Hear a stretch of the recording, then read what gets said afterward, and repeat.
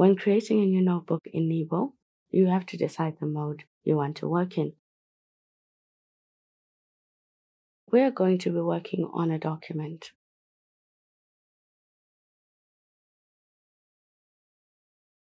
Pick a page color from the eight available options and choose a language for your handwriting conversion. The app shows languages that you have downloaded and used before. If you can't find the language you want, go to Manage Languages,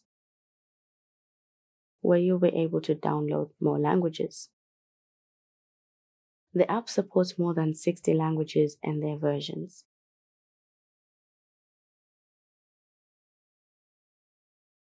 Create a notebook when you're happy with it. Sadly, I don't like this page color, so I'm going to change it real quick.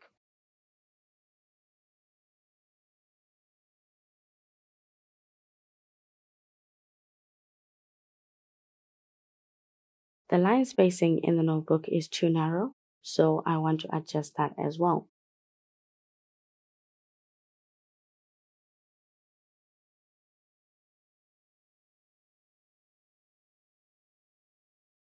This is our line spacing preview where we'll be seeing the changes we are making in real time. The bottom scale is for line spacing, which I want very wide. The text is a bit small, so I'm going to make it bigger. But notice that it also makes the line spacing bigger. So both of these settings affect your line spacing. You can adjust the two until you're happy with your font size and line spacing. The bottom preview helps you test out if you like the new settings, so you can just write in it to see how that looks.